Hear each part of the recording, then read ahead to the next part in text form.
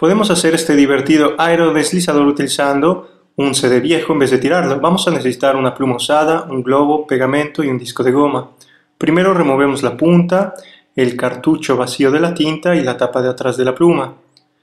Con una aguja larga hacemos un hoyo en la tapa de la pluma.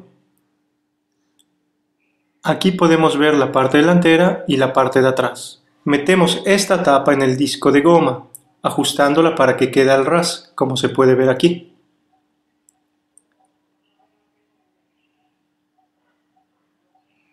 Tomamos el CD, le ponemos pegamento en la parte central alrededor del orificio, dejemos secar un poco el pegamento y pongamos el disco de goma justo en el centro.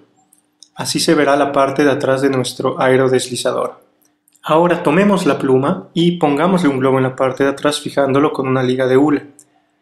Metemos la pluma en su tapa que a su vez está fijada al CD. Inflamos el globo y metemos el bolígrafo en su tapa. Ahora coloquemos el CD sobre una superficie lisa. El aire se escapará por el hoyo de la tapa y el CD se deslizará suavemente sostenido por la capa de aire creada debajo de él. Este es el principio del aerodeslizador.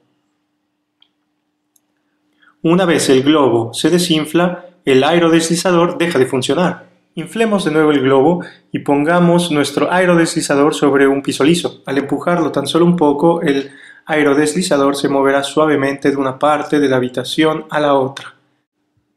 Este es un divertido juguete y también un interesante experimento.